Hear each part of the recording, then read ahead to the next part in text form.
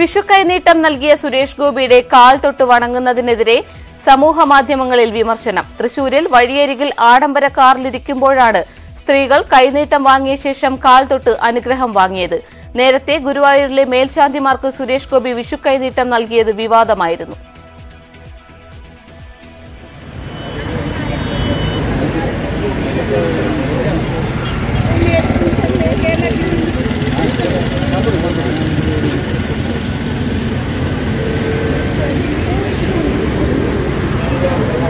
Thank you.